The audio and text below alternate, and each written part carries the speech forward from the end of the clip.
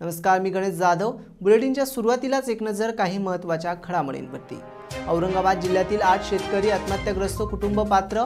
शेतकरी आत्महत्याग्रस्त कुटुंबांना देण्यात येणाऱ्या मदतीबाबत जिल्हास्तरीय समितीची बैठक जिल्हाधिकारी कार्यालयात संपन्न.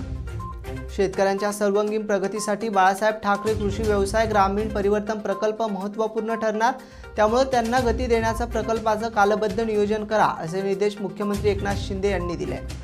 केंद्रीय अर्थमंत्री निर्मला सीतारामन यांच्या अध्यक्षतेखाली औद्योगिक कॉरिडॉर प्रकल्पाच्या अपेक्षा अथॉरिटीच्या पहिल्या बैठकीस मुख्यमंत्री एकनाथ शिंदे दूरदृश्य प्रणालीद्वारे सहभागी. मुख्यमंत्र्यांच्या वाहनाचा ताफा रस्त्याने जाताना सुरक्षेच्या कारणास्तव वाहतूक रोखून ठेवण्यात येते. मात्र त्यामुळे वाहतुकीचा खोळंबा होऊन वाहन चालकांना मनस्ताप होतो. त्यामुळे मुख्यमंत्र्यांच्या ताफ्याला विशेष प्रोटोकॉल नको असे निर्देश मुख्यमंत्री एकनाथ शिंदे यांनी पोलिसांना दिले. मुख्यमंत्री एकनाथ शिंदे आणि उपमुख्यमंत्री देवेंद्र फडणवीस यांनी आज राष्ट्रपती भवनात राष्ट्रपती रामनाथ कोविंद यांची सदिच्छा भेट घेतली आहे.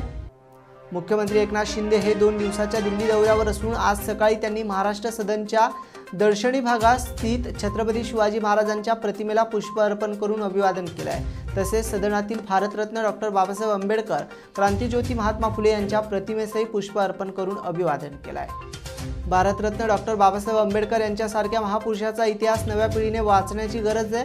महापुरुषाचा इतिहास लाभलेल्या राज्यातील संस्था टिकवण्यासाठी राज्य सरकारही संस्थांना सहकार्य करेल असे राज्यपाल भगतसिंग कोश्यारी यांनी पीपल्स एज्युकेशन सोसायटी वर्धपान दिनात सोहळ्यात केलं आहे स्वराज्य महोत्सव आणि हर घर तिरंगा उपक्रम अतिशय काटेकोरपणे राबविण्यात यावेत या उपक्रमात लोकसहभाग घ्यावा अशा सूचना मुख्य सचिव मनुकुमार श्रीवास्तव यांनी या संदर्भातील बैठकीत दिल्या.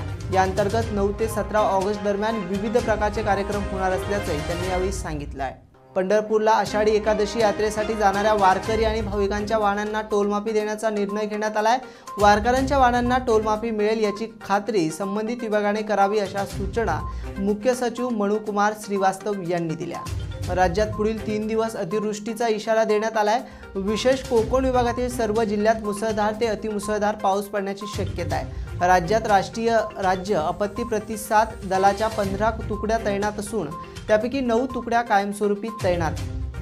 जागतिक पातळीवरील शैक्षणिक गुणवत्तेचा अभ्यास करून शैक्षणिक उंची गाठण्यासाठी वाटचाल करण्याचा दृढ निश्चय मुंबई विद्यापीठाने केला पाहिजे असे प्रतिपादन राज्यपाल भगतसिंग कोश्यारी यांनी मुंबई विद्यापीठातील विविध शैक्षणिक इमारतीच्या उद्घाटनाप्रसंगी केले. महाराष्ट्र हे देशाचे विकास इंजिन कायमच राहिले असून महाराष्ट्रात वेगाने विकास होण्याची क्षमता आहे. वेगवेगळ्या उद्योग क्षेत्रातील उद्योजकांनी राज्यात यावं यासाठी या क्षेत्रात राज्य शासनामार्फत संपूर्ण सहकार्य केले जाईल असे मुख्यमंत्री एकनाथ शिंदे यांनी संकल्प से सिद्धी कार्यक्रमात म्हटलं आहे हवामान खात्याकडून राज्यात पुढील तीन दिवस अतिवृष्टी तर कोकण विभागातील सर्व जिल्ह्यांना मुसळधार ते अतिमुसळधार पावसाचा इशारा. या पार्श्वभूमीवर मंत्रालय नियंत्रण कक्ष सतर्क असून राज्यातील सर्व जिल्हा नियंत्रण कक्षांना संपर्कात. अकोला येथील डॉक्टर पंजाबराव देशमुख कृषी विद्यापीठाच्या छत्तीसाव्या वर्षीय दीक्षांत समारंभात राज्यपाल तथा कुलपती भगतसिंग कोश्यारी यांच्या अध्यक्षतेखाली केंद्रीय रस्ते वाहतूक आणि महामार्ग मंत्री यांना डॉक्टर ऑफ सायन्स ही मानव पदवी प्रदान. बुलेटिनमध्ये वेळ झाला इथेच थांबण्याचा पाहत राहा ए आय न्यूज